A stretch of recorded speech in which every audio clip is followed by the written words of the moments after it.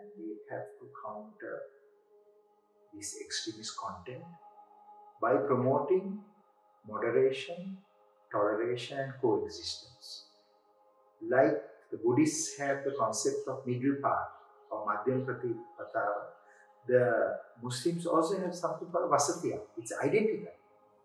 Wasatiyyah means moderation. So at least Muslim leaders should speak about Wasatiyyah.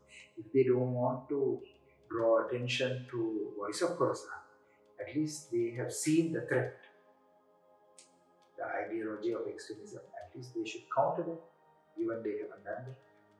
So I believe that this is a turning point because there's one whole feature from Zahran on Easter Sunday attack.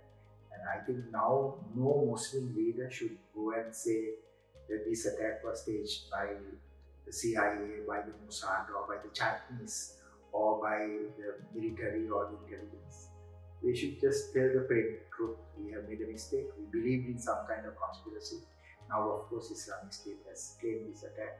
They should come out and they should work towards protecting the Muslim community. This is their primary responsibility and they should do, do this.